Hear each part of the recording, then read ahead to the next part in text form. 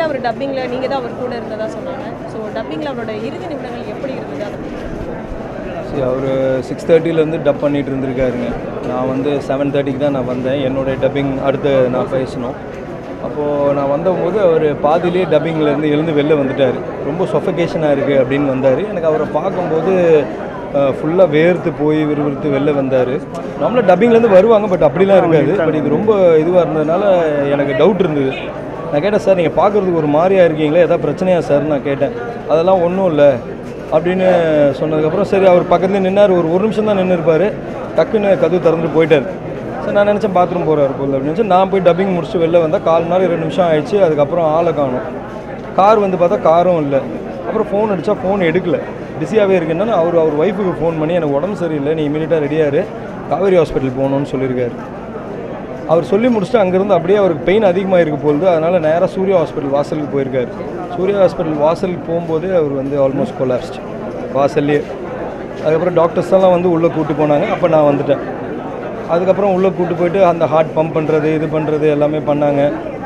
எல்லாம் ட்ரை பண்ணாங்க. முடியல. அவருக்கு வாயில் நுரெல்லாம் வந்துருச்சு. ரொம்ப கடைசியாக நீங்கள் இப்போ அவர்கிட்ட பேச முடியல.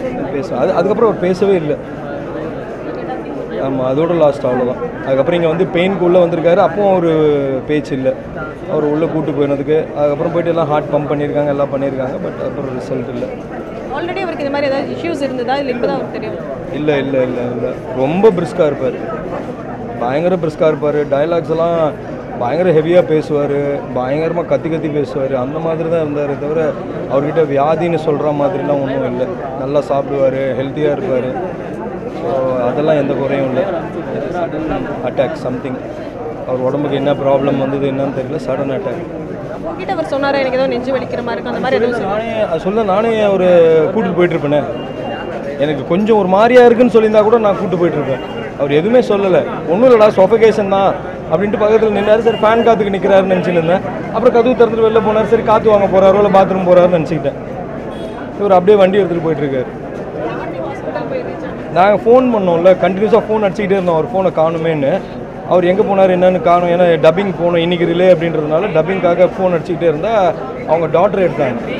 டாக்டர் எடுத்து தான் சொன்னாங்க. அப்பா சூர்யா ஹாஸ்பிட்டல் இருக்காரு போயிட்டாருன்னு சொல்கிறாங்க அப்படின்னு சொன்னாங்க. எல்லாமே அந்த அஞ்சு நிமிஷம் பத்து நிமிஷம் ட்ராவல் தான். ஆ. அவரே போயிட்டார். அவரே தான் போனார். அந்த வாசல் வரைக்கும் போயிட்டுருக்காரு அதுக்கப்புறம் டாக்டர்ஸ் தான் உள்ளே கூப்பிட்டு போனாங்க.